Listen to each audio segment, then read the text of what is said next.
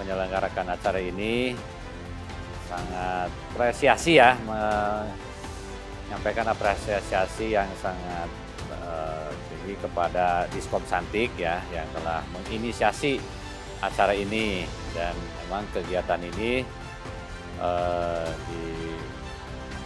dibiayai atau dianggarkan di BKPSDM.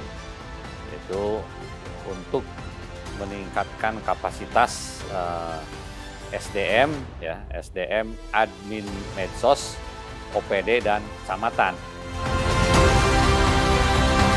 Harapannya tentu saja eh, kapasitas para admin sosmed itu terus meningkat karena ini acara Jabdon kita selenggarakan supaya tadi mereka bisa lebih bijak menggunakan sosial media, lebih uh, reliable dan juga lebih pandai lah, lebih ahli dan lebih adaptif supaya tadi sosial media mereka itu juga engagementnya jadi naik.